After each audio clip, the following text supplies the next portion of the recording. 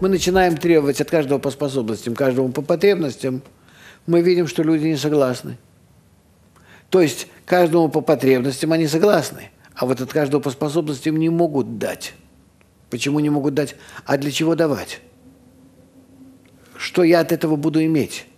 Я должен иметь энергию, которая бы меня обязывала, чтобы я э, работал бы, отдавая всего себя на общество, на, на, на его великие цели, на его великие завтра.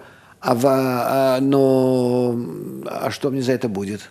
Каждую секунду у меня мое тело, мой эгоизм внутренний, не просто мое животное тело, а мой внутренний эгоизм спрашивает еще, еще, еще, для чего, зачем, почему у меня нет сил.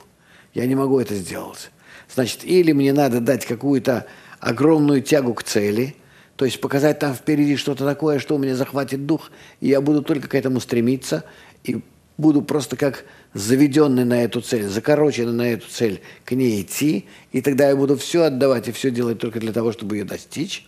Или нужны огромнейшие-огромнейшие воздействия на меня в виде страданий, которые заставят меня двигаться к этой цели, потому что мне некуда, абсолютно некуда урвать в сторону, вырваться – у меня только одна труба, по которой я могу к этой цели идти. Вот если это общество сорганизует меня таким образом, или вперед по этой трубе потянет меня к цели, или сзади будет меня подгонять палкой к счастью, что называется, то тогда я буду двигаться. А если нет, то нет.